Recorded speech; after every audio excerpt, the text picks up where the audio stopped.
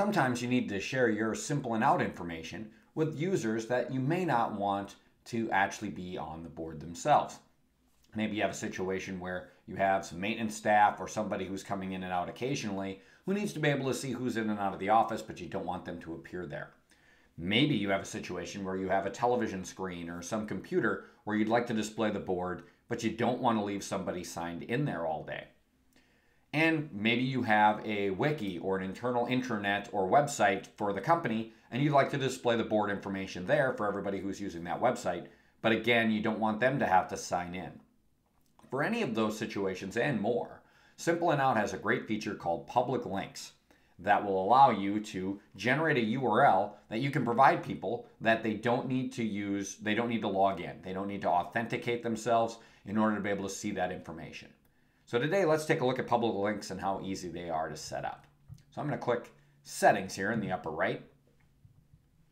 And then once I've clicked Settings, I'm going to click Public Links over here on the left.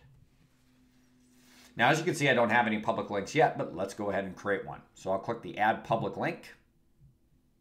And right away, I'll have a couple of very uh, small decisions I'll have to make. First, I can have this public link available for everyone, so, uh, so everyone shows up on the board. But if you use our groups feature in Simple In/Out, uh, you can restrict this public link to only a certain group. Uh, for now, I'll just leave this for everyone.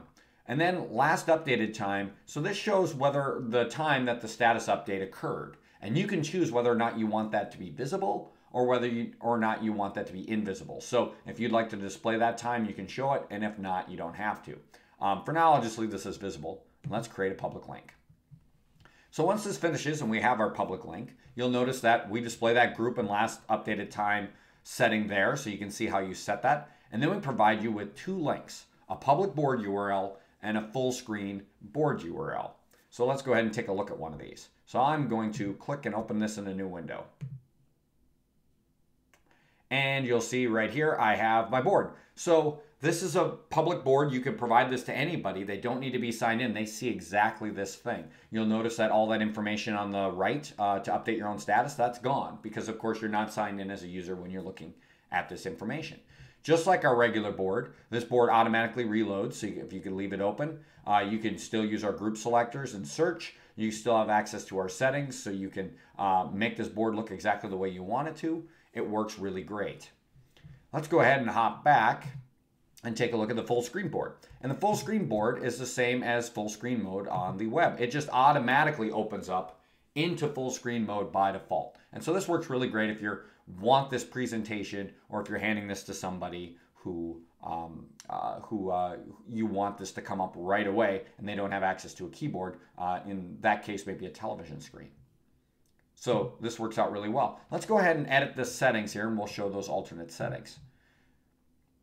So now I can make the, let's hide these update times and let's restrict this to just the, just the mortgage consultants. So we just want to display mortgage consultants. We'll assume we want to give this to somebody else. Maybe we want to put this on our website and then we'll, uh, last updated time, we'll just hide that because we don't want to show everybody uh, on the website that uh, what time that people arrived at the office.